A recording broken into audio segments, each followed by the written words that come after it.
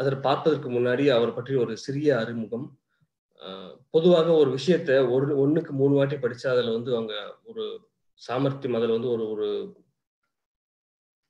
புரிதல் நன்றாக இருக்கும் அப்படின்னு சொல்லுவாங்க. அந்த வகையில் நம்ம கணேசன் ஐயா வந்து நம்ம மகரிஷியோட கருத்துக்களை ஒன்றுக்கு மூன்று முறை படித்துள்ளார். அதாவது டிப்ளமா ஒய்ஹெச்இ முடித்துள்ளார் பிஏ ஒய்ஹெச்இ முடித்துள்ளார் அதன் பிறகு எம்எஸ்சி ஒய்ஹெச்இ முடித்துள்ளார் அடிப்படையில் அவர் ஒரு டிப்ளமா இன் மெக்கானிக்கல் இன்ஜினியரிங் படித்தவர். மனவளக்கலையில் பதினோரு வருடங்களாக சேவை செய்து வருகிறார். வில்லிவாக்கம் அறக்கட்டளையில் சில வருடங்களும் தற்போது பெருமாள்பட்டு தவ மையத்தில் சேவை செய்து வருகிறார். இதை தவிர என்எஸ்எஸ் போன்ற அமைப்பு கேம்ப் நடைபெறும் சமயத்தில் அந்த மாணவர்களுக்கு உடற்பயிற்சி இலவசமாகவும் கற்றுக் கொடுத்து வருகிறார். இவ்வாறாக வேதாத்திரிய சிந்தனைகள் வேதாத்திரிய கோட்பாடுகளை ம- ம- மற்றவர்களாக எடுத்துக்கொண்டு செல்கிறார். அப்பேற்பட்ட டி. கணேசன் ஐயா அவர்களை வாழ்க வளமுடன் என வாழ்த்தி இன்றைய சிந்தனை தருமாறு அன்புடன் கேட்டுக்கொள்கிறோம்.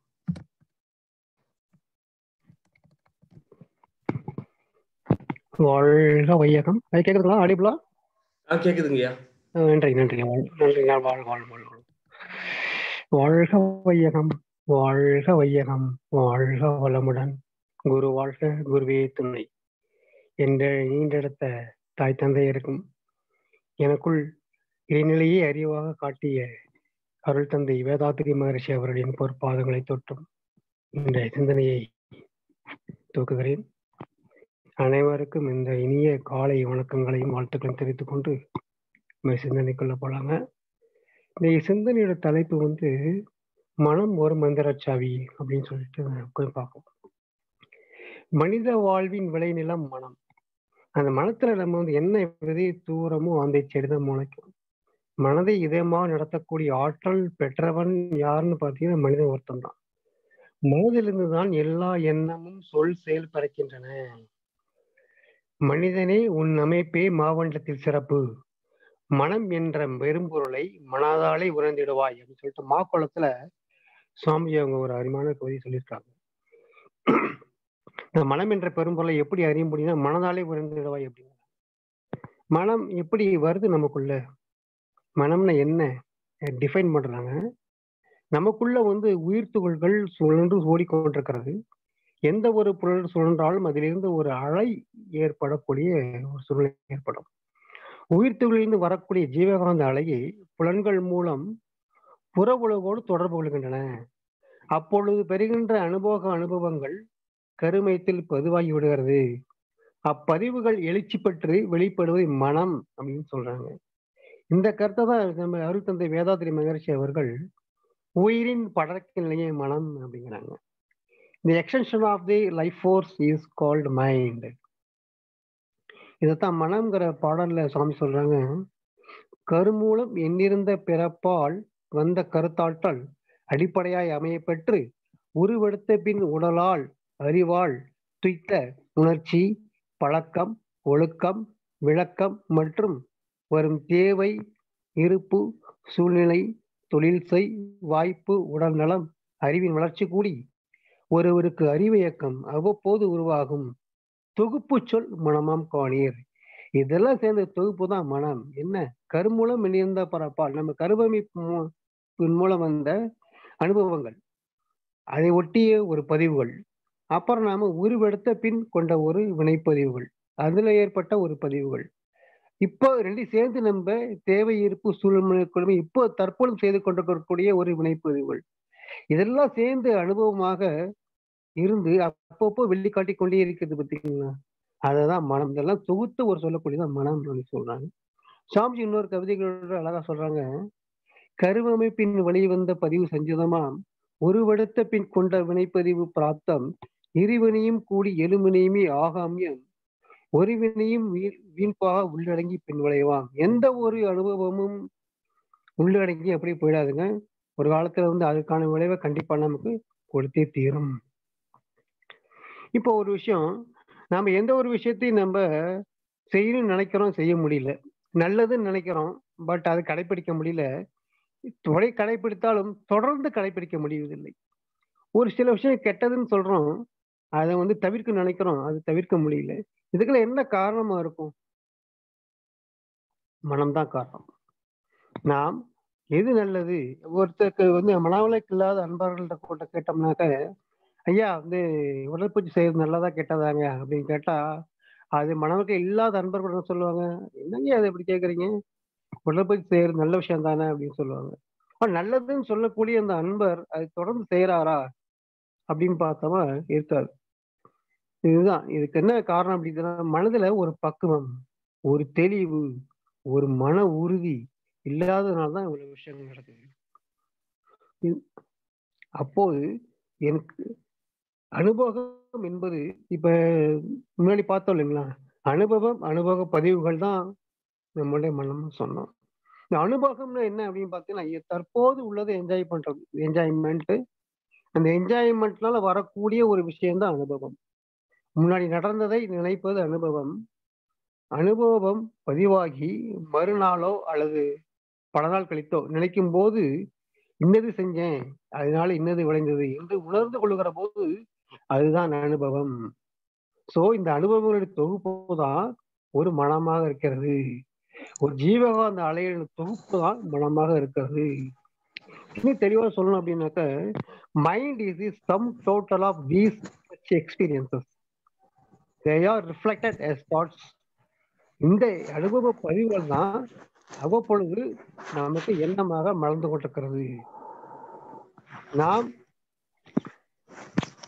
வாழ்வில் துன்பத்திலும் தூக்குறோம் இப்போ நம்ம எல்லாமே வந்து பழக்கத்தால அடிமைப்பட்டுட்டோம் இல்லைங்களா? அந்த பழக்கத்தை வந்து விளக்கத்தின் மூலமா வந்து செயல்பட மாற்றி அமைக்கணும் மனதனுடைய பத்து நிலைகள்ல பாத்தீங்கன்னாக்க உணர்ச்சி தேவை முயற்சி செயல் விளைவு அனுபவம் அனுபவம் என்ற முதல்ல சொல்லக்கூடிய ஏழு பு- ஏழு வந்து பழக்க பதிவுகள் அந்த ஏழு வந்து இன்பிரின்ஸ் ஆஃப் ஹேபிட்ஸ் அப்படின்னு சொல்றாங்க. பின்னாடி வரக்கூடிய ஒரு மூணு ஆராய்ச்சி தெளிவு முடிவு. இந்த மூணு வந்து விளக்கப்பதிவுகள். இம்பிரின்ஸ் ஆஃப் நாலேஜ் அந்த இம்பிரின்ஸ் ஆஃப் ஹேபிட்ஸ்ல இருந்து இம்பிரின்ஸ் ஆஃப் நாலேஜுக்கு மாறணும். இது வந்து நிறைய மனிதர்கள் இது செய்யறது இல்லை. முதல்ல வந்து ஏழு விஷயங்களை மட்டும் பண்ணிட்டு விட்டுறாங்க. அதுல ஆராய்ச்சி தெளிவு முடிவு இந்த விளைவு நமக்கு எதனால கிடைக்கிறதுன்னு ஆராய்ச்சி பண்ணணும். ஆராய்ச்சி பண்ண ஒரு தெளிவான முடிவு எடுக்கணும். இந்த தெளிவு பிறக்கணும். இனிமேல் செய்ய மாட்டாங்க தெளிவு பிறக்கணும். அது இந்த முடிவுல உறுதியா இருக்கும். இந்த மூணு விஷயத்தையும் பண்ணாதனாலதான் மனிதர்கள் பல துன்பங்களுக்கு ஆளாகி விடுகிறார்கள். இதை எப்படி பண்ணணும்? மனசை வந்து ஆராய வேண்டும். ஆற கூட்டல் ஆய்வு ஆராய்வு அப்படின்னு சொல்றாங்க. ஆற அப்படின்னா ரொம்ப ஒரு பொறுமையா நிதானமா உட்கார்ந்து மௌனமா இந்த மனதை ஆராய வேண்டும். ஆராய்ந்தோம் அப்படின்னாக்கா நமக்கு நல்ல விஷயங்கள் பல விஷயங்கள் கிடைக்கும். எவ்வாறு அமைதியாக ஆராய்வது? எப்படி இது மனதை வளப்படுத்துவது? இதெல்லாம் வந்து எப்படி செய்யலாம் அப்படின்னு மனவளக்கலை இல்லை அற்புதமா மனதை பத்தி சாமி சொல்லியிருக்கிறாங்க. இத்தகைய கட்டுப்படுத்த முடியாத தெய்வீக ஆற்றல் ஆனால் மன அலைச்சூழல்களை அகத்தவம் என்ற குண்டலி யோகத்தால் மட்டுமே முறைப்படுத்த முடியும். By the regular practice of the meditation only we could streamlined our mind இது வந்து மனத்தை வந்து ஒரு கட்டுக்குள்ள வரணும். அறிய வேண்டும் அப்படின்னா அது வந்து தவத்தால் மட்டுமே சாத்தியமாகும். இயற்கையை முழுவதும் உணர்ந்து இயற்கையோடு இயற்கையாக வாழ்வதே மனிதனின் நோக்கம். அந்த நோக்கத்தை அறிய வேண்டியதே மனித பறவை எடுத்து வந்தது.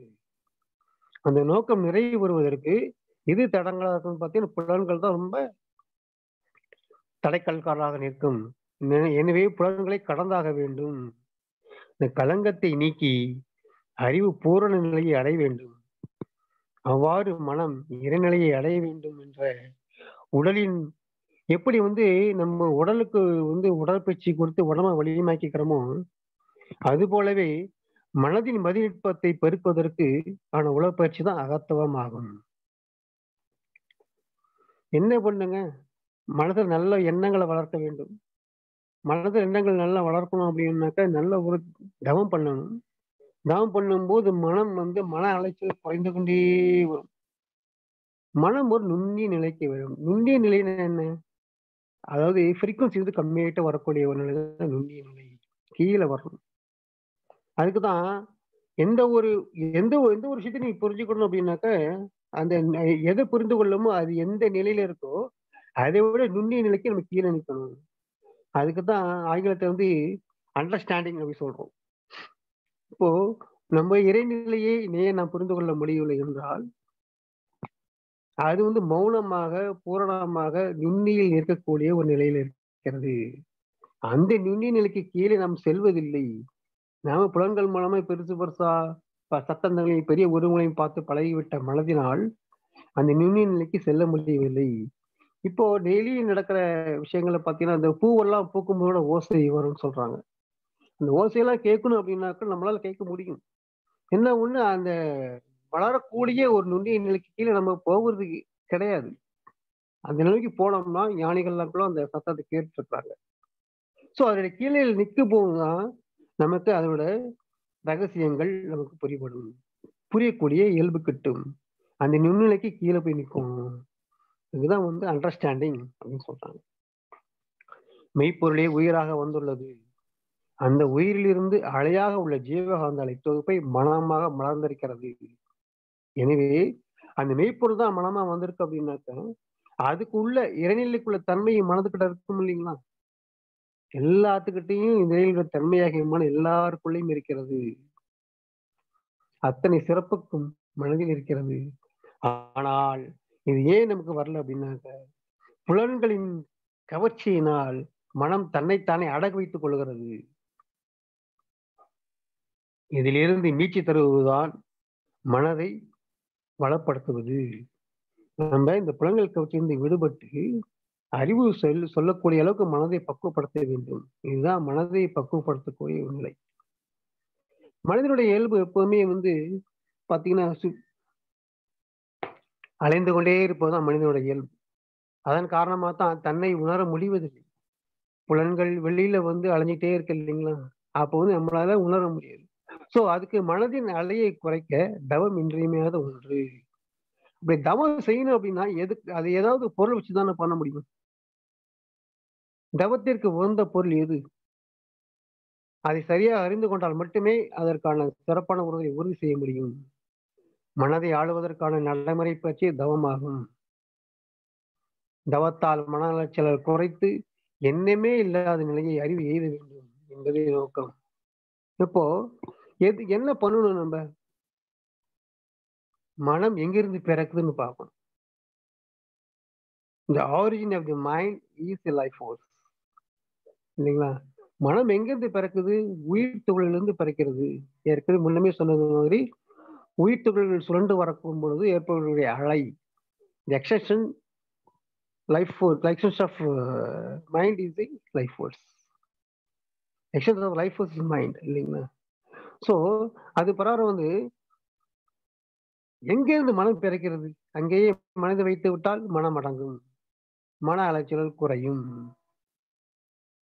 இந்த ஏற்கனவே சொன்ன மாதிரி மனம் உயிரிலிருந்து பிறக்கிறது. எனவே உயிரின் மீது மனதை வைத்து தவம் செய்யும் பொழுது உயிரை மேலே மனதை நிறுத்துகிறோம். இதன் காரணமாக மனம் ஒரு பக்குவப்படும் மனம் அடங்கும். எண்ணமில்லா நிலை கிட்டும். மனத்தின் அலைச்சூழல் குறைந்து மனம் அமைதி பெறுகிறது. மனம் நுண்மை நுண்மை நிலைக்கு செல்கிறது. படிப்படியாக உண்மை நிலை உணர உணரத்தக்க மனம் திருப்பம் உண்டாகிறது. உயிர்த்துகளிலிருந்து இறைத்துள்கள் வெளியேறி ஜீவகாந்த அலையாக இயங்குகின்றன. ஜீவகாந்த அலைதான் மூளைச்சிற்றல் விளையாகும்போது மனமாக விளங்குகிறது.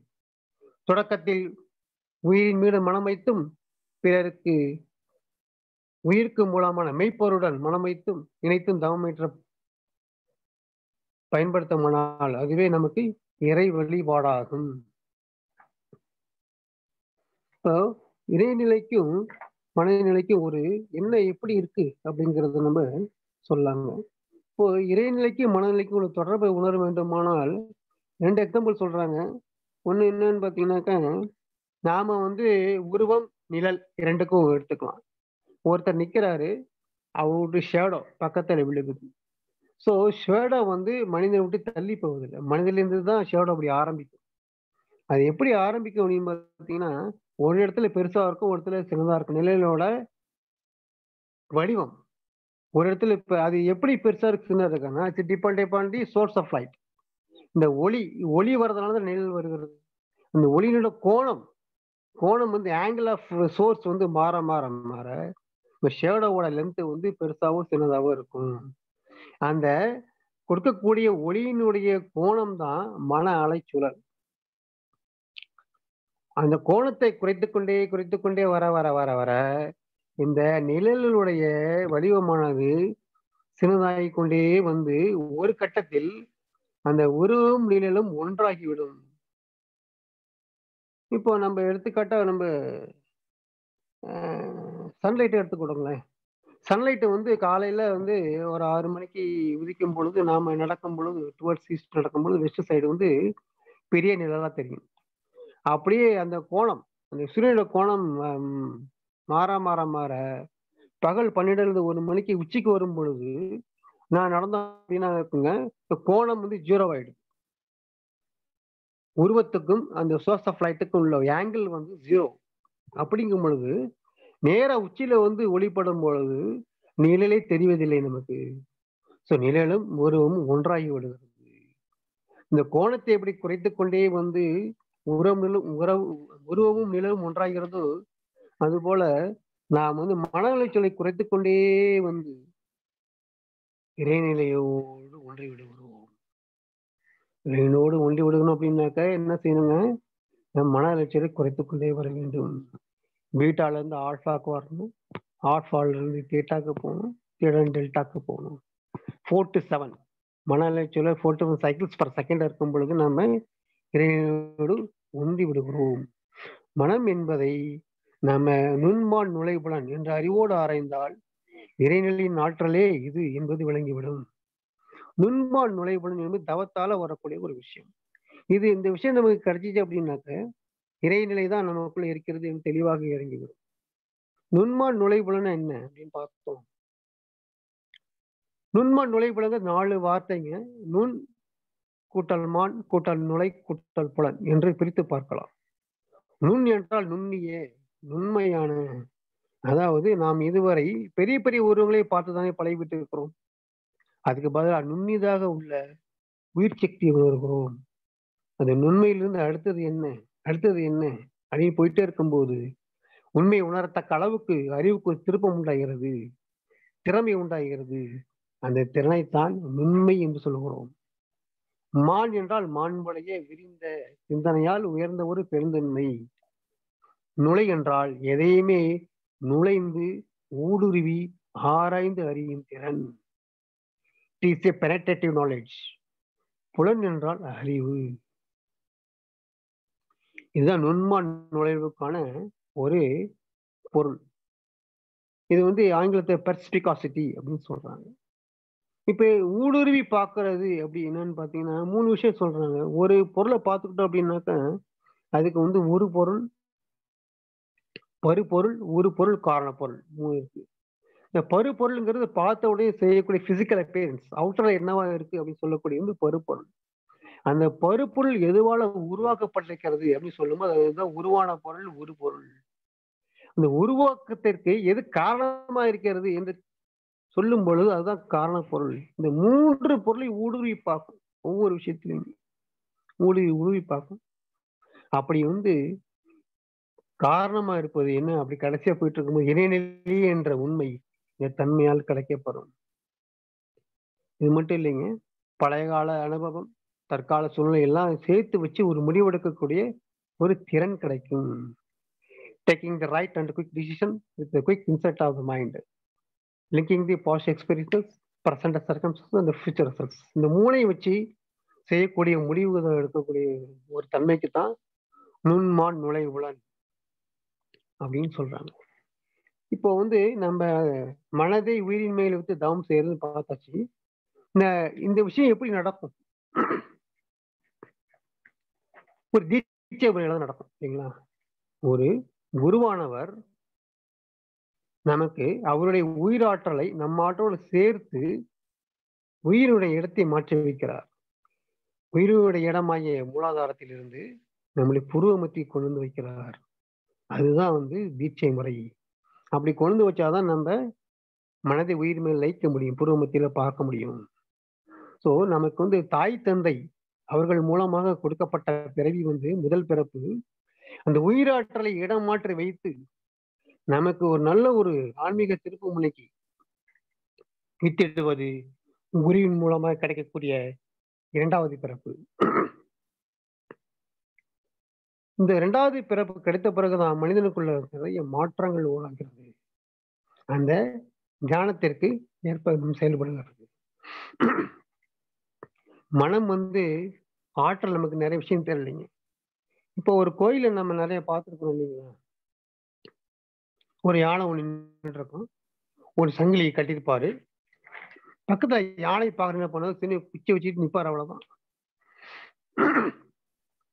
அந்த யானை வந்து பாத்தீங்கன்னாக்க சங்கிலியை இழுக்கும் போக முடியாது. இழுக்கும் போக முடியாது. ஒரு கட்டத்துல அந்த சங்கிலியை கட்டி விட்டுறாங்க. கழட்டி விட்டாலும் அந்த யானையால நகர்ந்து தூரமா போக முடியல. என்ன அப்படின்னு பாத்தீங்கன்னா அந்த யானைக்கு வந்து சிறு வயதில் முதலே சங்கிலியை பிணைத்து பிணைத்து கட்டி அதை இழுத்து இழுத்து இழுத்து ஐயோ இனிமே நம்மளால நவர முடியாது அப்படிங்கிற மனசுக்குள்ள ஒரு ஆழ்ந்த நிலைக்கு பதிவாக்கி விடுகிறது. அந்த பதிவு கடைசி வரைக்கும் அந்த மனதுக்குள்ளேயே அந்த பதிவு இருக்குது அந்த யானைக்கு. ஸோ அதனால சங்கிலியை நீக்கினாலும் அது வந்து போறதில்லை. ஸோ நம்மளுடைய மனமும் அப்படித்தான். நம்மளுடைய மனத்தை வந்து ஆற்றல்கள் தெரியாம நாம இப்படித்தான் நம்மளுடைய நிலைமை இவ்வளவுதான் அப்படி நாமளே ஒரு அனுமானம் பண்ணி கொடுக்கிறோம். அனுமானம் பண்ணி கொள்ளும் பொழுது நமக்கு அதை மீண்டு மீட்டு மீள மீண்டு வர முடியல. சின்ன வயசுல ஒரு சின்ன ஒரு கணக்கு தப்பா போட்டோம் அப்படின்னாக்கா உனக்கு கணக்கே வராதரா அப்படின்னு சொல்லுவாங்க. அந்த குழந்தையோட மனதுல வந்து ஆழ்ந்து பயந்து விடுகிறது. அது நாளைக்கு வளரும் போது என்ன பண்ணுதுங்க? நமக்கு வந்து இந்த வராது கணக்கு அப்படின்னு ஆள் மருந்து பயந்து போட்டதுனால அதனால கணக்கு போட்டாலும் வந்து சரியா வர மாட்டேங்குது பிள்ளைக்கு பாவம். ஸோ இப்படி மனதை பற்றி நிறைய விஷயங்கள் சொல்லியிருக்கிறோம். அது மட்டும் இல்லைங்க. இந்த தியானத்திற்கு இது பண்ணும் பொழுது உயிரின் மேல் மனதை வைத்து தியானம் பண்ணும் பொழுது என்ன நடக்குது அப்படின்னு பார்த்தீங்கன்னா மன அலைச்சல் குறைந்து குறைந்து இடைநிலை உணர முடிகிறது. எல்லாமும் நாம இருக்கிறோம். எல்லாத்திற்கும் காரணம் நாம் தான். எல்லாத்திற்கும் காரணம் மனமே. இன்ப துன்பத்திற்கும் காரணம் அதுவே என்று ஒரு நிலை பெருக்கிறது அதுக்குதான் அந்த அது வந்து நல்ல எண்ணங்கள் வரும் இல்லைங்களா?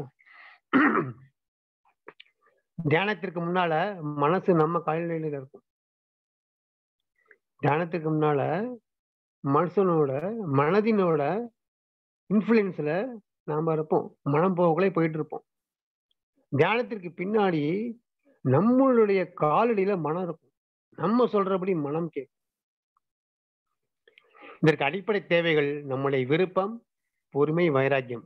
இந்த மூன்றும் தங்கள் ஆதிக்கத்தை வைத்தவர்கள் தான் இன்னைக்கு மகான்களாய் சித்தர்களாய் யோகிகளாய் ஞானிகளாய் வாழ்ந்து இருக்கிறார்கள். இன்னும் வாழ்ந்து கொண்டிருக்கிறார்கள். நமக்கு மனசுக்குள்ள நல்லா ஒரு எண்ணம் வரணும். எண்ணம் வரணும் என்ன செய்யணும்? நம்ம துரியதம் பண்ணணும். துரியதம் பண்ணோம்னாக்க நமக்கு நல்ல எண்ணங்கள் கிடைக்கும். அதுக்கு சாமி ஒரு கவிதையில சொல்றாங்க. உச்சியிலே நீ சென்றால் உடனே காணும் ஒரு அதிசயம் வளமாம் ஒரு சுற்று ஆகும். அச்சமயம் அறிவிற்கோர் வியப்பு காணும். அவ்விடத்தே நிலைத்திருக்க பழகிவிட்டால் இச்சையெல்லாம் பிறக்குமிடம் கண்டுகொள்வாய். எது வேண்டும் எது வேண்டாம் என்ற இரண்டும் கண்டு நச்சுவிலை இச்சையெல்லாம் அழித்து விட்டு நல்மியும் இன்னுமே மீதம் கொள்வாய் அப்படின்னு சொல்றாங்க. மூளைச்செல்கள்ல பாத்தீங்கன்னா யாருமே வந்து தொண்ணூறு பர்சன்ட் உபயோகிக்கிற மாதிரி ஒரு இல்லை சாத்திய சாத்தியங்கள் இல்லை. எல்லாம் ஒரு ஐம்பது பர்சன்ட்டுக்கு மேல வந்து மூளையை யாருமே யூஸ் பண்றது இல்லை அப்படின்னு ஒரு சர்வே சொல்றாங்க. ஸோ நாம இந்த துரிதமம் பண்ணணும் அப்படின்னாக்க மூளை செல்கள்ல வந்து கிட்டத்தட்ட ஒரு தொண்ணூறு பர்சன்ட் அளவுக்கு இயக்கம் பெற்று சீராக இயக்கம் பெற்று துரிதப்படுத்தப்படுகிறது. ஸோ இதனால வந்து நம்ம என்னென்ன பண்ணணும்? அந்த இடத்துல வந்து என்ன செய்யணும்? ஒரு மொழி நிலைத்து நிற்க பழக்க வேண்டும். அதை பழகிட்டோம் அப்படின்னாக்க நமக்கு என்னென்ன தோணுது? எது வேண்டாம்? எது நல்லது? எது கெட்டதுன்னு உணர முடிகிறது. அதுவும் இல்லாம நச்சு விளைச்ச எல்லாம் நல்ல ஒரு தீய எண்ணங்கள்லாம் அழித்து விட்டு நல்ல ஒரு எண்ணமே நமக்கு கிடைக்கக்கூடிய ஒரு விஷயம் கிடைக்கும் அப்படின்னு சொல்றோம்.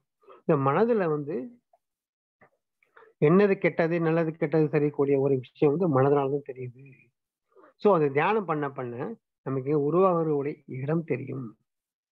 அதுக்கு மேல ஒரு விஷயம் இன்பம் துன்பம். ரெண்டுமே வந்து நம்ம பிறரால வந்ததுன்னு நினைத்து கொண்டிருக்கிறோம் இல்லைங்களா? யாரோ ஒருத்தர் வந்து சொல்லிட்டாங்க செஞ்சிட்டாங்க அவரால் தான் எனக்கு இந்த வாய்ப்பு தட்டி பறிக்கப்பட்டது. அவரால் தான் இந்த நிலைமை வந்திருக்கிறேன். அவரால் தான் அவரால் தான் அவரால் தான் என்று நாம் மற்றவரையே சொல்லிக் கொண்டிருக்கிறோம். இது மீது மிகப்பெரிய தவறு. ஸோ எல்லாத்துக்கும் வந்து நாம தான் காரணம். இன்பமாகட்டும் அல்லது வேற விஷயமாகட்டும் ரெண்டுமே வந்து நமக்குள்ள ஏற்படுகிற ஒரு அலை இயக்கம் தான். இதே சாமி சொல்றாங்க ஒரு பாட்டுல இன்பம் துன்பம் சொல்லிட்டு இன்பம் துன்பம் என்பது என்ன? இவை இரண்டும் எங்கிருந்து தோன்றுகிறது என்று ஆராய்ந்தேன் இன்பமே இயற்கையிலே எதிலும் என்றும் எங்கும் நிறைந்துள்ளது. அனுபவத்திற்கு இன்பத்தின் அளவு முறை மாறும் பொழுது ஏற்படும் ஒரு பொருத்தமல்லா உணர்ச்சியேதான் இன்பத்தின் மறுபெயரான் துன்பமாயும் இரண்டும் அறிவின் அலைகளாயும் கண்டேன். எல்லாத்துலயும் இன்பம் தான் கொடுத்துருக்காங்க இறைவன். மனுஷன் வந்து எல்லாத்தையும் வாழ்வில வந்து துய்த்து அனுபவிக்கிறதுக்கு எல்லாத்தையும் இன்பத்தான் கொடுத்துருக்கேன். துன்பம்ங்கிற ஒண்ணே கிடையாது உலகத்துல அப்படிங்கிறாங்க. ஆனா மனிதன் வாழ்விற்கு வந்த பொழுது என்ன பண்றான்? அந்த இன்பத்தை அனுபவிக்கிறான். அனுபவிக்கும் போது மனம் அதுவே திரும்பி திரும்பி திரும்பி கேட்கிறது. ஜீவகாந்த அலை ஒரு மனப்போக்கில் ஓடுற ஒரு வழியில போச்சுன்னா அதே வழிதான் போயிட்டு இருக்கும் அதான் பழக்க பதிக்கும் சொல்ல சொன்ன ஒரு விஷயம். சோ அதுல இருந்து இந்த விளக்க பதிக்கு மாறல அப்படின்னாக்க அது விளைய ஓடிட்டு இருக்கும் என்ன இது இன்பமா அனுபவித்தாங்களோ அது இன்னும் வேண்டும் இன்னும் வேண்டும்னு அந்த இன்பத்தை நாடி சொல்லும். சோ அப்ப என்ன ஆகுதுங்க? இன்பத்தை அனுபவத்திற்கு இன்பத்தரும் அளவு முறை மாறும். ஏற்படும் போது உள்ள ஒரு ஜீவாந்த உணர்ச்சி வந்து ஒரு அதுக்கு பொருந்தா உணர்ச்சி ஏற்படுகிறது. தாங்குற சக்தி வந்து ஜீவகாந்தலைக்கு கிடைக்காம போகுது. அந்த ஒரு புறத்தமில்ல உணர்ச்சி தான் துன்பம்னு சொல்ல சாமிஜி வந்து. இன்பத்தின் மறுபயராம் அப்படிங்கிறாங்க. இன்பத்தின் மறுபயரம் துன்பமாயும் கண்டேன். இந்த ரெண்டும் எங்கேருந்து வந்ததுங்க? அறிவின் அலைகளாயும் கண்டேன். அறிவின் அலைகளாய்னா அவங்க வந்து மனத்தை பத்தி பேசிட்டு இருக்கிறாங்க. திடீர்னு அறிவின் அலைகளாயும் கண்டேன்னு சொல்றாங்களே அப்படின்னு ஒரு உங்களுக்குள்ள ஒரு குழப்பம் வரும். மனம் அறிவு ரெண்டும் ஒண்ணுதாங்க. சரிங்களா? நிலையாக இருக்கக்கூடிய ஒரு விஷயம் எதுன்னு பாத்தீங்கன்னாக்க மனம். அதுவே அலையாக மாறுச்சு அப்படின்னாக்க அதுதான் அது மனம். நிலையாக இருக்கக்கூடிய அறிவு. அந்த அறிவு வந்து அலையாக இருக்கும் பொழுது மனமாக செயல்படுகிறது. அதனால வந்து இந்த அறிவை தான் நம்ம என்ன சொல்றோம்? அலைகளாயும் கண்டேன் அறிவின் அலைனா ஒண்ணு இல்லை மனம் தான் நிலையா இருக்கும்போது அறிவு அலையா மாறினா அதுதான் வந்து அலை மனதுதான் இதுல இருந்து என்ன தெரியுது நமக்கு? தெரிஞ்சுக்கிட்டோம். அவ்வளவு விஷயம் பேசுற விஷயத்துல இருந்து நம்ம. இன்பமாகட்டும் துன்பமாகட்டும். ரெண்டுமே மனதிலிருந்தே பறக்கக்கூடிய ஒரு விஷயம். நல்லங்கள் வேணும் நல்ல எண்ணங்கள் வேணுமா? அதுக்கு மனதுதான் காரணம். மனதை செம்மைப்படுத்த வேண்டும் வளப்படுத்த வேண்டும். எப்படி படுத்த முடியும்? தியானத்தின் மூலமாக தான் பண்ண முடியும். ரெண்டாவது இன்னொரு விஷயம் என்னன்னு பாத்தீங்கன்னா இப்ப நிறைய நோய் வாயில நிறைய புதுசு புதுசு நோய்கள் வருகிறது இந்த நோய்களை வந்து குணப்படுத்துவதற்கு மருந்து நம்ம சாப்பிடுறோம் இல்லைன்னு சொல்ல ஆனா அந்த மருந்தை விடவும் மனதுக்கு நம்ம தைரியம் கொடுக்க வேண்டும். இது ஒண்ணுமில்லை இதை நம்ம சமாளிச்சிடலாம் ஒண்ணும் கிடையாது அப்படின்னு நம்ம மனதுக்கு அங்க ஒரு அழுத்தம் கொடுக்க வேண்டும். பெரும்பாலான நோய்கள் பார்த்தீங்க அப்படின்னாக்க இந்த மருந்து வந்து இருபது பர்சன்ட் மனம் எண்பது பர்சன்ட் அப்படித்தான் நம்ம வந்து நம்ம உடலுக்குள்ள வேலை செய்கிறோம். ஸோ மனதிற்கு வந்து நல்ல ஒரு ஒரு ஊட்டத்தை ஒரு அறிவை கொடுக்க வேண்டும் ஒரு வளத்தை கொடுக்க வேண்டும். இது எல்லாமே எப்படி கிடைக்கும் அப்படின்னு பார்த்தீங்கன்னா நம்ம தியானத்தின் மூலமாக தான் பண்ண முடியும். இப்போ தியானத்தின் மூலமாக இந்த விஷயங்களை நம்ம தெரிஞ்சுக்கலாம். இன்பம் எங்கிருந்து வருது துன்பம் எங்கிருந்து வருது வெற்றிக்கான காரணம் எது தோல்விக்கான காரணம் எது எல்லாமே நம்முடைய மனம்தான் அப்படின்னு நம்ம தெரிந்து கொள்ளலாம். இப்போ ஒவ்வொரு பூட்டுக்கும் ஒரு சாவி இருக்கும். அந்த லீவரேஜ் லீவரேஜ் பண்ணியிருப்பாங்க. செவன் லீவர் சிக்ஸ் லீவர்ஸ்ன்னு பண்ணியிருப்பாங்க. ஆனா மனது மட்டும் ஒரே சாவி. அதாவது மந்திர சாவி. இது வந்து யூனிவர்சல் கீ எப்படி யூனிவர்சல் ரிமோட்டை வந்துச்சு பார்த்தீங்களா இப்போ? ஒரு ரிமோட்டை வச்சு டிவியும் இயக்கலாம். ஃபேனையும் ஸ்பீடை குறைக்கலாம். எல்லாமே பண்ணக்கூடிய நிலை இப்போ வந்துச்சு அது மாதிரி மனம்ங்கிற ஒரு ஒரே ஒரு சாவி வச்சுட்டு நாம நிறைய சாதிக்கலாம். என்ன வேணுமோ அதை நம்மளால அடைய முடியும். ஒவ்வொன்றுக்கும் ஒரு சாவி பிடிச்சி தேவையில்லை. மகிழ்ச்சி வேணுமா? அதுக்கு இந்த பக்கம் போகணும். வாழ்வில் வெட்டறிய வேண்டுமா? அது இந்த பக்கம் போகணும். அப்படின்னு தனித்தனி வழி கிடையாது. எல்லாவற்றிற்கும் ஒரே வழி நமது மனமே. இப்போ அந்த நுண்மான் நுழைவுல அந்த தவத்தினால் கிடைக்கக்கூடிய விஷயத்துல தன்னை மட்டும் இல்ல தான் மட்டும் இந்த இறைநிலையிலிருந்து வந்தவன் அப்படின்னு உணர்றதை விட தன்னை சூழ்ந்துள்ள அனைத்தும் இறைநிலையின் வெவ்வேறு அம்சங்களே என்ற தத்துவ அறிவு வந்து மனதிற்கு கிடைக்கிறது. கவிதை நல்லா சொல்லுவாங்க. அந்த நம்ம சுத்தி நடக்கிற விஷயம் எல்லாமே இறைநிலை தான் நம்ம பார்க்கக்கூடிய விஷயம் எல்லாமே இறைநிலையாக இருக்கிறது. அப்படிங்கிறது மனதை உணர்கிறது.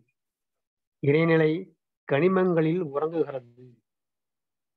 தாவரங்களில் விழித்தெழுகிறது. விலங்குகளில் நடக்கிறது. மனிதரில் மட்டுமே சிந்திக்கிறது. God sleeps in minerals wakes up in vegetation walks in animals and thinks only in man ஆறாவது அறிவா இருக்கக்கூடிய மனிதர்கள் மட்டுமே என்ன ஆகுதுங்க அது வந்து செயல்படுகிறது. இந்த ஆறாவது எண்ணத்தின் மூலமாக ஒரு தீட்சை முறை மூலமாக நம்ம உயிர் ஆற்றல் இடமாற்றி வைத்து அந்த மனதை உயிரின் மேல் வைத்து அந்த உயிருக்கு பிறப்பிடமான மெய்ப்பொருளை மூலம் அறிந்து இந்த மெய்ப்பொருளை ஒன்றி எல்லாம் நாம் தான். அந்த இறைநிலையே தாமாக வந்துள்ளோம் நம்மை சுற்றி நடக்கக்கூடிய அனைத்து விஷயங்களும் அனைத்து தோற்றப் பொருட்களும் இறைநிலையே என்ற முடிவுக்கு வருகிறோம். இப்படி வந்தபோது என்ன கிடைக்குங்க நமக்கு? இந்த மாதிரிலாம் பண்ணிட்டோம் மனத்தை வளப்படுத்திட்டோம் எல்லாம் செஞ்சிட்டோம். என்ன நமக்கு அதனால என்ன பெனிஃபிட் அதான் இப்ப சொன்ன ஒரு விஷயம் தான் இல்லைங்களா? இது வந்து எந்த ஒரு செயல் செய்தாலும் இது செய்யலாமா வேண்டாமா? செய்தா என்ன விளைவு வரும்? அப்படின்னு விழிப்புணர்வோட செயலாற்றக்கூடிய ஒரு திறன் கிடைக்கிறது. மன்னாவது பிறர் எது எந்த ஒரு விஷயத்தையும் நம்ம வந்து ஈஸியா எடுத்துக்கிடணும். எது நடந்தாலும் அதை வந்து ஏற்றுக்கொள்கிற ஒரு மனப்பான்மை கிடைக்கும். இந்த ஒரு விஷயம்தான். ராமாயணத்துல பாத்தீங்கன்னா அந்த ராமர் வந்து அந்த பட்டாபிஷேகம் முடிக்கிறதுக்கு முன்னாடி இந்த கையினுடைய தீய எண்ணத்தால் ராமன் வந்து ராமபிரான் காட்டுக்கு வனவாசத்துக்கு அனுப்பப்படுகிறார். பதினாலு வருடங்கள். அப்பொழுது பாத்தீங்கன்னா அயோத்தி மாநகரமே எழுகிறது. ஐயோ புத்தமனான ராமன் இன்று வனவாசத்தை செல்கிறானே என்று. அந்த அயோத்தி மக்களும் சரி அயோத்தி நகரமே அழுது கொண்டிருக்கிறது. ஏன் ராமனோட தம்பி. ராமனோட தம்பி லக்குமணனே அழுகிறான். ஆனா ராமன் வந்து எந்த ஒரு விஷயத்தையும் பதட்டப்படவில்லை மனம் சஞ்சலப்படவில்லை. ஏற்றுக்கொள்கிறேன் தாய். அப்படி சொல்லிவிட்டு பதினாலு வருடங்கள் காட்டுக்கு சென்றார். மனமாசம் முடிவு திரும்பி பட்டாபிஷேகத்துக்கு வரும் பொழுதும் அவருடைய மனநிலை எப்படி இருந்ததோ அப்படியே இருக்கிறது. பட்டாபிஷத்து வரும்பொழுது அயோத்தி மாநகரமே குதுகலிக்கிறது. ஆனால் ராமனுடைய மனம் சஞ்சலப்படவில்லை. எப்படி வனவாசத்துக்கு அனுப்பும் போது அவருடைய மனநிலை இருந்ததோ திருப்பி பட்டாபிஷத்துக்கு வரும்பொழுதும் அவருடைய மனநிலை அதுவாகவே இருக்கிறது. அவர்தான் கடவுள் அவதாரம்னு சொல்றாங்க. இதெல்லாம் வந்து இதிகாசத்துல நிறைய சொல்லி வச்சிருக்கிறாங்க. தீய எண்ணம் இருந்தா என்ன நடக்கும்? அன்புல இருந்தா என்ன நடக்கும்? அப்படிங்கிற விஷயத்த நிறைய சொல்லியிருக்காங்க. இதிகாசங்களை ஒன்று ரெண்டு எக்ஸாம்பிள் பண்ணிட்டு முடிச்சுக்கலாங்க நம்ம இப்போ ராமாயணம் மகாபாரதம் ரெண்டுலுமே வந்து என்ன சொல்றாங்க அப்படின்னு பாத்தீங்கன்னா இந்த மகாபாரதத்துல பாத்தீங்கன்னாக்க அன்பு தீய ஒரு விஷயம் இருந்தால் என்ன நடக்கும்னு சொல்றாங்க? ராமாயணத்துல வந்து ரொம்ப நாம வந்து எப்படி இருக்க முடியும் அப்படிங்கிறதுக்கு ஒரு சொல்றாங்க சரிங்களா? அன்பின் பெருக்கத்தால் மனிதனாக செல்வது பூரண மனிதன். இதைத்தான் அதிகாசங்கள் உணர்த்துகின்றன. அன்பின் வழி உறவுகள் எவ்வாறு அமையும் என்றும் அன்பில்லாத உறவுகள் எவ்வாறு முறியும் என்பது நமக்கு இதிகாசம் எழுதப்பட்டது ஆனா இந்த எதிகாசத்தெல்லாம் ஒரு காலத்தை எழுதினது வந்து மனுஷன் வந்து அதை ஃபாலோ பண்ண முடியல. ஃபாலோ பண்ண முடியாதனால தான். அப்ப அப்பவே அந்த அந்த காலத்து மனிதர்கள் ஃபாலோ பண்ணியிருந்தாங்க அப்படின்னாக்க இன்றைய சமுதாயம் ஒரு ஆரோக்கியமும் சமுதாயம் இருந்திருக்கு எதிகாரத்தை படிச்சுட்டு அப்படி தூக்கி போட்டு அதை ஃபாலோ பண்ணாமல் போயிட்டாங்க. அதனாலதான் இந்த இப்ப தத்துவ ஞானிகள் பிறந்து இந்த விஷயத்த நம்மளால சொல்லிக்கிட்டே இருக்காங்க. ராமன் ஒரு பூர்ண மனிதனுக்கு உதாரணமாவான். தசரனுக்கு நல்ல மகன். வசிஷ்டருக்கு நல்ல மாணவன் சீதைக்கு நல்ல கணவன். இந்த சடாயுவுக்கும் விபிடனுக்கும் அனுமனுக்கும் நல்ல நண்பன். ராமாயணத்தில் இந்த உறவுகள் எல்லாமே நல்ல அன்புனால பின்னி பிணைக்கப்பட்டிருக்கின்றது.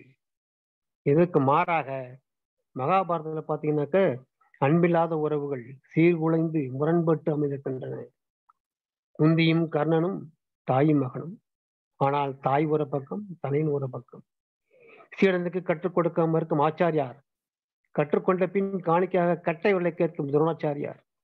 இப்படி ஒவ்வொருத்தரும் முரண்பட்ட உறவுகள் அப்படி இருக்காங்க. பாண்டுவும் திருதராட்டின் அண்ணன் தம்பிகள். ஆனால் அண்ணன் ஒரு பக்கம் தம்பி ஒரு பக்கம். துரோணனும் அர்ஜுனனும் ஜிஷ்யனும் ஒரு பக்கம். ஆனால் அவர்கள் சந்திக்கும் இடமும் யுத்த களம் இப்படி இதிகாசத்துல சொல்லக்கூடிய விஷயங்கள் பார்த்தீங்கன்னாலும் ராமாயணத்துல நாம் காணும் உறவுகளின் அடிப்படை அன்பு ஆகவே இனிமையானது. ஆனா அதற்கு மாறாக மகாபாரத்தில் நாம் காண்பதோ பேரையாசைகளும் தன்முனைப்பாலம் முறிந்த உறவுகள். இருந்து நம்ம என்ன தெரிஞ்சுக்கிட்டோம் இனிய உறவுக்கு வந்து அடிப்படை வந்து அன்பு தான். இந்த அன்பு எப்ப கிடைக்கும்? நாம தியானம் மூலியமா மனதிற்கு பெறப்படாமான உயிர் மீதும் உயிருக்கு பெறப்படாமான மெய்ப்பொருள் மீதும் ஒன்றிணைந்து விட்டோமானால் இந்த அன்பு சாத்தியம். சரிங்களா? அனைத்துயிரும் ஒன்றென்று அறிந்த அடிப்படையில் ஆற்றும் கடமையெல்லாம் அன்பின் செயலாகும். அன்பு குறையும் போது அங்க என்ன ஆகுங்க அகந்தை மேலோங்குகிறது. அறம் கீழே விடுகிறது அதனால வந்து அன்பு வந்து வரணும். இந்த அன்பு வந்துடும் இந்த இந்த பண்ணும் பொழுது மனதிற்கு என்னென்ன கிடைக்கும்? அன்பு வந்துடும் இன்பம் துன்பம் என்னன்னு ஒரு விஷயம் கிடைச்சிடும் எது நல்லது எது கெட்டது அப்படிங்கிற விஷயம் தெரிஞ்சிடும் ஸோ இதையெல்லாம் வைத்துக்கொண்டு நாம வாழ்வில் வந்து வெற்றி காணலாம். இன்ப துன்பத்திற்கும் காரணம் மனம் வெற்றி தோல்விகளுக்கு காரணம் மனம் உடல் நலத்திற்க மனமே காரணம். நோய் எதிர்ப்பாற்றலை வளர்த்துக்கொள்ள மனமே காரணம். வாழ்வின் நோக்கமாகிய இறைநிலையை ஒன்றி மனம் காரணமாக உள்ளது. நோய் நோய் எதிர்ப்பாற்றலை எடுத்துக்கொள்வதற்கு மனம் காரணம். எப்படிங்க அது மனம் இது என்னதுங்க? நம்ம சொல்ல விஷயம் வந்து ஜீவகாந்த அலையின் தொகுப்புன்னு சொல்லணும் இல்லைங்களா? சோ இப்போ வந்து தியானம் பண்ண பண்ண பண்ண அங்க ஜீவகாந்த ஆற்றல் சேமிக்கப்படுகிறது. எந்த ஒரு உடம்புல ஜீவகாந்தம் வந்து செறிவு அடர்த்தி நல்ல செறிவா இருந்து இன்டென்சிட்டி நல்லா இருந்தது அப்படின்னாக்க அந்த உடல்ல வந்து நோய் போகாது. அப்படியே இந்த வைரஸோ ஏதோ உள்ள போனா கூட இந்த ஜீவகாந்தத்தின் திண்மையினால் செறிவினால் அந்த இது அழிக்கப்பட்டு விடும். ஸோ நமக்கு நோய் வரவே வராது. ஸோ இதனால நோய் ஆட்பாற்றலை வளர்த்து கொள்ள முடியும். வாழ்வின் நோக்கமாக இறைநிலை அடைய முடியும். ஒரு தப்பு செஞ்சிட்டோம் மே அது தப்பு செய்யக்கூடாது. தப்பு செய்யறது ஒரு மனசுதான் தப்பு செய்யாம இருக்கணும் முடிவெடுக்கக்கூடியதும் ஒரு மனம்தான். ஸோ எல்லாமே மனமாக தான் இருக்கிறது. இப்ப சமீப காலத்துல நம்ம தொலைக்காட்சியில அல்லது நியூஸ் பேப்பர்லாம் நம்ம பார்க்கலாம். இல்லைங்களா? என்ன பார்க்கலாம்? நிறைய பேர் மன உறுதி இல்லாமல் சில விஷயங்கள்லாம் வாழ்வில் தவறான தவறான கோழைத்தனமான முடிவுகள் எடுத்து விடுறாங்க இதுக்கு என்ன காரணமா இருக்கும்னு நினைக்கிறீங்க? பள்ளிக்கூடத்துல பாத்தீங்கன்னாக்க சயின்ஸ் சப்ஜெக்ட் மேக்ஸ் சப்ஜெக்ட்லாம் சொல்லி தராங்க. பட் மனதை வளப்படுத்தக்கூடிய ஒரு முறை இல்லை அங்க. இதனாலதான் பெரிய விஷயங்கள் இருக்கு. இல்லை மெத்தப்படுத்தவர்கள் எல்லாருமே. ஒரு ஐஏஎஸ் அகாடமியில ஒரு நிறுவனம் இருந்தவர் காஃபி டே ஓனரு அப்ப சமீபத்தில் நடந்த ஒரு விஷயம். எல்லா விஷயமுமே வந்து என்னவா நடக்கும்னா மனதில் உங்களுக்கு ஒரு ஒரு சிக்கல் வரும் பொழுது அதை சந்திக்கக்கூடிய ஒரு பலமான ஒரு உறுதி வில் பவர் இல்லை அவங்ககிட்ட. அந்த விஷயம் வந்து நம்மளோட கல்வி முறையில வந்து பின்தங்கி தான் இருக்குங்க. ஆனா வந்து இதை வந்து நம்ம வந்து இந்த மனவள கலையில இருக்கிறவங்க வந்து அந்த மனதை மேம்படுத்தி நல்ல ஒரு வில்பர் எந்த ஒரு விஷயத்தையும் நம்மளால சமாளிக்க முடியுங்க. எது வேணா வரட்டும். கவலை கிடையாது. நாம அதை கண்டிப்பா சமாளிப்போம். ஏன்? மனதுல வந்து உறுதி ஏற்படுகிறது. இந்த வந்து பாத்தீங்க அப்படின்னாக்க ஒரு சிலர் தான் நம்ம வந்து நல்லா இருக்காங்க. ஒரு சிலர் வந்து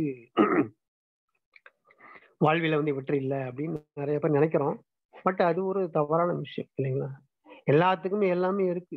வாழ்வை வளப்படுத்தக்கூடிய அறிவின் சிறப்புகளான மன உறுதி தெளிவு அன்பு கருணை இவை எல்லாமே எல்லா மனிதனத்திலும் உள்ளது. ஆனா என்ன பண்ணணும்? எல்லாமே இருக்கு. மனுஷனாக பிறந்த அனைவரும் மனிதன் வந்து இறையினுடைய துண்டுப்பட்ட பகுதி தானுங்க? Human human lives are the fragment of the totality இல்லைங்களா? புறணாமா இருக்கக்கூடிய ஒரு இறைநிலையிலிருந்து துண்டுப்பட்டவன் தான் மனிதன். ஸோ புறணாமா உள்ள இடத்துல இருந்து துண்டுப்பட்டதுலயும் அதே தன்மைகள் இருக்கும் இல்லைங்களா? ம். இப்போ ஒரு குளத்துல குளம் இருக்குது. குளத்துல இருந்து ஒரு தண்ணி குளத்துல தண்ணி கொண்டு வரோம் அந்த தண்ணியில வந்து குளத்துல இருக்க நீரோட தன்மை இருக்குமில்ல? இருக்குமா இருக்குங்களா? இருக்கும். ஸோ என்ன ஒண்ணு? நம்ம எடுத்து வந்த தண்ணியை இப்போ கலங்கப்படுத்திடுறோம். அந்த கலங்கப்படுத்த தண்ணியை திருப்பி தெளிவான குளத்துல போய் ஊத்திட்டு வரோம் இந்த விஷயம் தான் துரியாதி தேவத்தில் நடக்குது. மனமே இறைநிலையாக வந்திருக்கு அப்படின்னாக்க இந்த மனதுக்கு இறைத்தன்மை இருக்கணும் இல்லை ஆனா புலன்கள் கவர்ச்சியினாலும் சில கலங்கங்களாலும் மனது இறைநிலிருந்து கலங்கப்பட்டு விடுகிறது எப்படி இந்த கலங்கப்பட்ட தண்ணியை கொண்டு போய் சுத்தமான குளத்துல ஊத்திட்டு வரோமோ? அந்த மாதிரி நம்ம கலங்கப்பட்ட மனதை அகண்டகாரத்தில் உள்ள இறைவழியோடு அகண்டகாரத்தில் உள்ள நிலை இருப்பு நிலையோடு கலந்து விடுகிறோம். கலங்கும் போது என்னாகும்? நம்மளுடைய அசுத்தமான கலங்கமுள்ள மனதை அங்க கொடுத்து விட்டு தூய ஒரு மனதோட வருகிறோம். தூய ஒரு காந்தத்தோடு நம்ம வருகிறோம். அகண்டா காலத்துல வந்து நம்ம வந்து நம்ம கலங்கமானது கலக்கமோ அதுக்கு அது கலங்கம் அடை போவதில்லை ஒரு பெரிய குளத்துல ஏதாவது கலக்கனா தண்ணி ஊற்றினா குளம் போற கலங்கிறவங்களா it is very negligible one அந்த மாதிரி நாம வந்து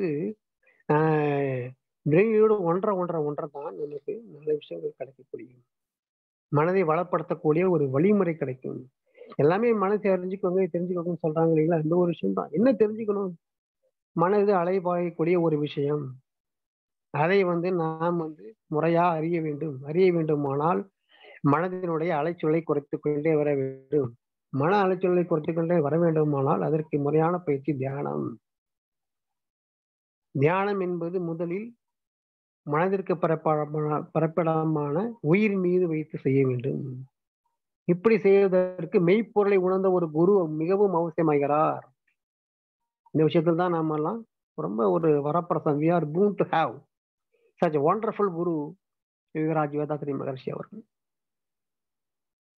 அவர்கள் மூலமா உயிரி உயிரா இடத்தை மாற்றி வைத்து அது நம்ம உணர்கிறோம்.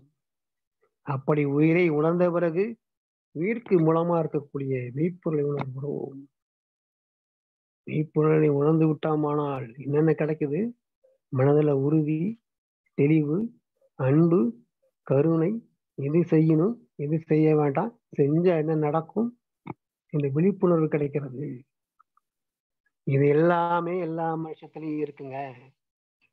ஆனால் இவற்றை எல்லாம் ஊக்கப்படுத்தி பழக்கத்தில் கொண்டு வருவதுதான் மக்கள்கிட்ட வேறுபாடு மற்றும் ஏற்றத்தாழ்வு உள்ளது. என்ன ஒரு நெகிழ்ச்சியன்ஸ் தான் எல்லாம் எந்திரிக்கிறோம் ஓடுறோம் விளையாடுறோம் எல்லாம் வந்து பினான்சியல் நோக்கியே நம்மளுடைய காலம் ஓடிக்கிறோம் இல்லைங்களா? பொருளாதாரத்தில் உயர்ந்திருந்தாதான் நம்ம வாழ்க்கைமை சிறப்பாக இருக்கணும்னு ஒரு தவறான கருத்து இருக்கு. இப்படி ஓடி ஓடி முடிச்சுட்டு ரிட்டையர் ஆன பிறகுதான் என்ன பண்றாங்க? ஆன்மீகத்தை தேடி வராங்க. ஸோ இந்த மாதிரி வராம நம்ம இந்த வயதிலேயே சிறு வயதிலேயே அவங்களுக்கு கொண்டு போய் சேர்த்துட்டோம் அப்படின்னாக்க நல்ல எவ்வளவு பெரிய மாற்றம் நடக்கும்? கொஞ்சம் யோசனை பார்க்கலாம். அந்த விஷயத்த வந்து அவங்களுக்கு கொண்டு போய் சேர்க்கணும். அப்படிங்கிற அதுதான் சுவாமி சொல்றாங்க. நாலு புறம் பிரித்தாங்க இல்லைங்களா? இளமை நோன்பு இல்லறம் வானப்பிரசம் சன்னியாசம் பிரிச்சிருக்காங்க இதுல இருபது வயதுக்குள்ளாரே நம்ம இந்த மனவளக்கை கொண்டு போய் அவங்களை சேர்த்து விட வேண்டும். சேர்த்து விட்டோம் அப்படின்னாக்க நல்ல ஒரு மாற்றம் தெரியும் சமுதாயத்துல. நல்ல வயசான பிறகு உடம்புல நோய் வந்த பிறகு ஐயா இங்க எனக்கு எங்க தோல்ல பிடிப்பு இருக்கு. மூட்டுக்கால்ல சதை பிடிப்பு இருக்கிறது. அதை சரி பண்ண ஏதாவது உங்களிடம் ஏதாவது பயிற்சி முறை இருக்கிறதா? என்று கேட்டுட்டு வராங்க.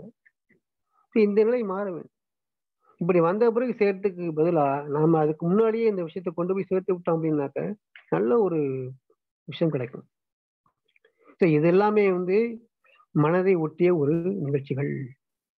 ஸோ இவற்றையெல்லாம் ஊக்கப்படுத்தி எல்லாமே மனுஷன்ட்ட இருக்கு. ஆனா இதெல்லாம் ஊக்கப்படுத்தி பழக்கத்தில் கொண்டு வருவதுதான் மக்களிடம் வேறுபாடு வேட்டத்தால் உள்ளது. பழக்கத்தை கொண்டு வர நல்ல விஷயம் கவனிங்க. அது வந்து it haves to be some life style காலையில எழுந்து எப்படி நம்ம வந்து காப்பி குடிக்கிறோம் நியூஸ் பேப்பர் படிக்கிறோம் இதெல்லாம் கரெக்டாக செய்யறோம் இல்லை அதெல்லாம் பழக்கத்தில் வந்த ஒரு விஷயம் தானே. பட் இந்த மாதிரி இந்த விஷயத்தையும் கொண்டு வரணும். நம்ம டெய்லி தியானம் பண்ண வேண்டும். தியானம் பண்ணும் பொழுதுதான் நமக்கு நிறைய விஷயங்கள் கிடைக்கும். இவற்றின் மதிப்புகள் மற்றும் சிறப்புகளை தெரிந்து கொள்ளவும் பழக்கத்திற்கு கொண்டு பயன் பெறவும் ஏற்ற ஒரு பயிற்சி முறைதான் தியானம் அல்லது அகத்தவம். அறிவின் தரத்தை உயர்த்துவதே என்பது ஒரு மருந்தால் முடியக்கூடியதல்ல ஒரு நமக்கு வந்து இன்டெலிஜென்ஸ் கூட வேணும் அறிவு கூட வேணும். நாலு விட்டமின் டேப்லெட் கடையில் விற்கிது மா போட்டுக்கிட்டா என்னோட அறிவு வந்து கூடிரும் அப்படின்னா எத்தனை பேர் மாத்து மருந்து சாப்பிட்டுருப்பாங்க? அதுவல்ல. அறிவின் தரத்தை உயர்த்தணும் அப்படின்னா நாம வந்து முயற்சி எடுக்கணும் தொடர் முயற்சி மற்றும் பயிற்சி எடுக்க வேண்டும். ஒரே இடத்துல உட்காந்து நாம் பண்ண வேண்டும். சிறந்தம் சித்திக்க வேண்டுமானால் ரெகுலர் ப்ராக்டிஸ் வேண்டும். அந்த மாதிரி பண்ணும் பொழுதுதான் நமக்கு அந்த தியானம் சித்திக்கும். தியானம் சித்திக்கும் போது அறிவின் தரம் உயரும். அறிவின் தரம் வரும்போது இதெல்லாம் விஷயம் நடக்கும். இது எப்படின்னு பார்த்தீங்கன்னா அவரவர் தனிப்பட்ட சொந்த முயற்சி மட்டுமே. ஒருத்தருக்காக இன்னொருத்தர் பண்ண முடியாதுங்க. இல்லைங்களா? ஒருத்தருக்கு ஃபர்ஸ்ட் இன்னொருத்தர் சாப்பிட முடியுங்களா? முடியாது இல்லைங்களா? அது மாதிரி இந்த ஒரு விஷயம் என்னன்னாக்க அவரவர் தனிப்பட்ட சொந்த தொடர் பயிற்சினால் மட்டுமே இதை நாம் சாதிக்க முடியும். ஸோ இவ்வளவும் பார்த்தாச்சுங்க. ஒன்றை சொல்லி வந்து நிறைய செதுக்குறாங்க இந்த மனம் இந்த விஷயத்தை இந்த ஒரு தூரம் பார்த்தோம் நம்ம.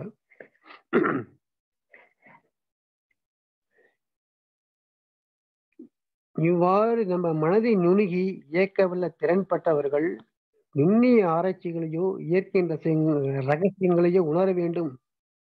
விரும்பும்போது தானாகவே அவர்கள் மன மன அலைச்சல் அந்த இடத்துல நின்றுடும். இப்போ நாம எல்லாம் வந்து பார்த்தோம் ப்ராக்டிஸ் இல்லாம பண்ணோம்னாக்கா அந்த போய் நிற்காது டக்குன்னு உட்காந்த உடனே தியானம் டக்குன்னு என்ன பண்ண? சுத்தொழியோட ஒன்றிவிடும். சுத்தொழியோட ஒன்றிடுச்சு அப்படின்னாக்கா பழக்கமாயிடும். பழக பழக பழக இது சாத்தியமாகும். இப்போ ஒரு இது ஒரு- ஒரு உதாரணம் கூட சொல்லுவாங்க. அதாவது மாட்டு வண்டியில வந்து ஒருத்தர் வந்து மணல் அள்ளிட்டு போனாங்க ஆத்து மணல். அள்ளிட்டு போனா வண்டி போவார வண்டியில. ரெகுலரா ஒரு கொள்முதல் கடையில போய் இறக்குவாராம் அந்த மணலுக்கான காசு கொடுத்துருவாங்களாமா. அப்படி ஒவ்வொரு தடவையும் என்ன பண்ணுவாங்க ஆத்துல போய் மணல் ஏத்திட்டு ஏரி உட்காந்து அதிகாலை நேரத்துல மாட்டை அப்படி சுண்டு சுண்டிட்டு உட்காந்து போறான் மாடு தானே எங்க போவாங்க இந்த கொழுப்பு நிலையத்திற்கு தானா போயிடும். அது வரைக்கும் இந்த மாட்டு வண்டிக்காரர் வந்து தூங்கிட்டே வருவாராம். இப்படி பழக்கம். அந்த வந்து மாடு வந்து எந்த வழியா போகணும் பழக்கப்பட்டு விட்டார். அது மாதிரி நம்ம வாழும் காலத்தில் நம்ம இறைநிலையோடு ஒன்றி ஒன்றி ஒன்றி ஒன்றி பழகிவிட்டோமானால் நம் வாழ்க்கைக்கு பிறகு நம்மளுடைய உயிராற்றலானது நேராக பழக்கத்தின் காரணமாக நேராக எங்க போயிடுங்க? இறைநிலையோடு கலந்து விடும் அப்படி கலந்துச்சுன்னா என்ன நடக்கும்? நமக்கு மறு பிறப்பி ஒன்று இருக்காது. சரிங்களா? இதுதான் விஷயம். இப்போ எல்லா ஞானிகளும் யோகிகள் என்ன சொல்றாங்க? ஐயா எனக்கு இந்த இந்த பிறவி போதும். இனிமே எதுவுமே தேவையில்லை. திருப்பி வந்து என்னைய வந்து இந்த பூமியில உலகத்தை உலக வச்சு இந்த நான் வந்து சிரமப்பட வைக்காதீங்க. எனக்கு இதுவே போதும் எனக்கு அப்படின்னு சொல்ற ஒரு விஷயம்தான். ஸோ சிந்தனையின்றி மனம் போன போக்கிலேயே செயல் செய்து சிக்கலில் தவித்துக் கொண்டிருப்போருக்கு மதி கூர்மை பெற வேண்டும். அதுக்கு ஏற்றொரு சாதனை மார்க்கமே தவம் மனதின் மூலமா நடைபெறக்கூடிய அகத்தவமாகும். இந்த தவநிலையில் அடிக்கடி ஈடுபடும் பொழுது மூளைச்செல்கள் படிப்படியாக விரிவடைந்து விரிவடைந்து அறிவு கூர்மை பெறுகிறது. அறிவு குறுவைப்பட்டதாக்க எல்லா விஷயமும் நடக்கும் இல்லைங்களா? சரிங்க we are come to end முடிவுக்கு வந்தாச்சு. அதாவது என்ன அப்படின்னு பார்த்தோம் இல்லைங்களா? இன்பம் துன்பம் காரணம் மனம் வெற்றி தோல்விகளுக்கு காரணம் மனம் உடல் நலத்திற்கு மனதே காரணம் நோய் எதிர்பாற்றலுக்கும் மனதே காரணம். இதுதான் கணின் பூன்றார் கூட ஒரு வார்த்தையில் சொல்லுவார் இல்லைங்களா? தீதும் நன்றும் பிற தரவாரா? எந்த விஷயமா இருந்தாலும் அது நமக்குள் நடைபெற கொண்டுதான். இன்பம் வந்து வெளியிலிருந்து வருவதில்லை நமக்குள்ளாகத்தான் வருகிறது. ஜீவகாந்த எழுச்சியினையே எழுச்சியே இன்பம் என கருதுகிறோம். இல்லைங்களா? அது நமக்கு நிறைய பேருக்கு நம்ம ஆசிரியர்களுக்கு தெரியும். நம்ம தீட்சை கொடுக்கும் பொழுது நம்மளுடைய காந்த ஆற்றல் இன்னொருத்தருக்கு பரவிடும் பொழுது நமக்கு அந்த இடத்துல ஒரு சின்ன ஒரு மகிழ்ச்சி தோன்றும். இன்பம் தோன்றும். ஏன்? அப்படின்னு பார்த்தா நம்ம ஜீவகாந்தம் செலவாகிறது. ஜீவகாந்தம் வந்து எந்த புலன்கள் வழியா எந்த புலன்கள் மூலமா செலவானாலும் அதுக்கு ஒரு இன்ப உணர்வை கொடுக்கிறது. அது வந்து நல்ல முறையில் செலவு. இல்லைங்களா? தீட்சையை பாசஸ் கொடுக்கும்போது நல்லா உணர்ந்திருக்கோம் நம்ம ஒரு நம்மளுடைய கை ஆற்றல்ல வந்து ஜீவகாந்த அலைய மற்ற உயிராற்றல் சேர்த்து பண்ணும் பொழுது நமக்கு நல்ல ஒரு இது கிடைக்கும். அந்த செலவானதுக்கு ஒரு இது கிடைக்கும். உணர்வு கிடைக்கும் அந்த இடத்துல நமக்கு. ஸோ உணர்வு கிடைக்கும். ஸோ இது மாதிரி எல்லாம் அல்ல அந்த மனதை நாம் வளப்படுத்தி நாமும் உயர்ந்து நம்மை சுற்றியுள்ள சமுதாயத்தை உயர்த்தி நல்ல ஒரு சமுதாயத்தை நாம வந்து கொண்டு வரணும். மனதுல வந்து நல்ல ஒரு விளைநிலத்துல நல்ல ஒரு விளைகளை நல்ல எண்ணங்களை போடணும். நல்ல செயல்களை போடணும். மனம் வந்து ஒன்றில் லயிக்க வேண்டும். எந்த ஒரு செஞ்சாலும் அந்த செயலை வந்து முழு ஈடுபாட்டோடு செய்ய வேண்டும். ஒரு புத்தகத்தை படிக்கிறோமா? மனம் நிலைப்பட வேண்டும். மனம் செய்கின்ற செயலில் ஈடுபடாமல் பல்வேறு எண்ணங்களால் மனம் அலக்கழிக்கப்பட்டால் செவனே செய்ய இயலாது. இதுக்குதான். மனம் வந்து ஒருத்தர் நினைத்து பழகணும் அப்படின்னாக்கா நமக்கு தியான பயிற்சி ரொம்ப அவசியம். ஒருமை நிலையோடு இருக்க வேண்டும். காம்பஸ் இப்போ ஒன்றும் இல்லைங்க இப்போ சன்லைட் ஒன்று இருக்குது. சன்லைட்ல வந்து ஒரு குவியாடி அதாவது கான்வெக்ஸ் லென்ஸ் வைக்கலாம். கான்வெக்ஸ் லென்ஸ் வச்சோம்னாக்க அந்த சன்லைட் எல்லாம் அந்த லென்ஸ்ல பட்டு ஒரு பாயிண்ட்ல மெர்ஜ் ஆகும் அந்த ஒரு பாயிண்ட்ல மெர்ஜ் ஆகும் பொழுது என்ன நடக்குங்க? கப்புன்னு அந்த பேப்பரை வச்சா கூட பேப்பர் அப்படி நெருப்பை உண்டாக்கி விடும். எப்படி எரிஞ்சு விடும் அந்த பேப்பர் எரிஞ்சு விடும். அது மாதிரி நம்ம மனதை வந்து குவித்து ஒரு புள்ளியில் நிறுத்துகிறோம் அப்படி குவிக்கும் பொழுது இறைநிலையோடு ஒன்றை செய்யும் பொழுது நமக்கு என்ன கிடைக்கிறது மனதிற்கு ஆற்றல் பெறுகிறது. எப்படி இந்த பாயிண்ட் வைக்கும் போது அவ்வளவு தீ பறக்கக்கூடிய ஆற்றல் கிடைச்சதோ அது மாதிரி மனம் ஓர்மை அடைந்தாலே அறிவு கூர்மை வாழ்வில் நேர்மை செயல் சீர்மை அனைத்தும் உண்டாகும். வந்து இப்படிப்பட்ட மனம் நமக்குள்ளாதான் இருக்கு. நாம தான் முயற்சி பண்ணணும். வெளியில இருந்து யாரும் முயற்சி பண்ண வேண்டாம். முடியாது முடிய முடியாது. ஸோ நாம வந்து மனதை வந்து நிகழ்ச்சியா வச்சுக்கிடணும். நல்ல ஒரு இனிமையான நமக்கு என்ன பிடிக்குதோ செய்யலாம் இல்லைங்களா? நல்ல ஒரு பாட்டு கேட்கணும். நமக்கு என்ன பாட்டு பிடிக்குதோ அது பாட்டு கேட்கலாம். மகிழ்ச்சியா இருக்கலாம். நமக்கு என்ன எந்த செயல் செஞ்சோம்னா எந்த செயல் செஞ்சாலும் அது ஈடுபாட்டோட இருக்கலாம். இந்த மாதிரிலாம் பண்ணோம் அப்படின்னாக்க நம்மளுக்கு வந்து மனம் ஒரு மந்திர சாவியா பயன்படுத்தி நம்ம வாழ்க்கையில் ஏற்படக்கூடிய அனைத்து சிக்கல்களுக்கும் ஒரே கீ யூனிவர்சல் கீயாக மனதை கொண்டு நாம் நம்மை வளப்படுத்திக் கொள்வோம். நாம் நம்மை வளப்படுத்திக் கொள்வது மட்டுமல்லாமல் நம்மை சுற்றி இருக்கக்கூடிய சமுதாயம் நமது குடும்பம் ஆகியவற்றை ஆகியவற்றை உணர்த்தி நாம் வாழ்வில் மேல்மை கொள்வோம் என்று கூறி நிறைவு செய்கிறேன். வாய்ப்பளித்த இறைநிலைக்கும் ஒருவர்களுக்கும் திருவுருள் மண்டல நிர்வாகிகளுக்கும் அனைவருக்கும் நன்றி கூறி நல்லதொரு வாய்ப்புக்கு நன்றி பாராட்டி நிறைவு செய்கிறேன். வாழ்க வளமுடன்.